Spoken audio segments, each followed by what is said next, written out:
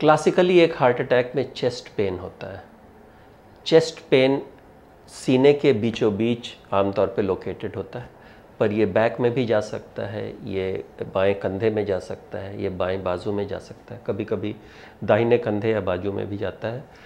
Lower jaw में भी हो सकता है और अपर एब्डोमेन में भी होता है, हो सकता है। आमतौर पे हम कहते हैं कि पेन अगर नेवल के नीचे हो या लोअर जॉ के ऊपर हो तो वो हार्ट का नहीं है, ये हम कहते हैं।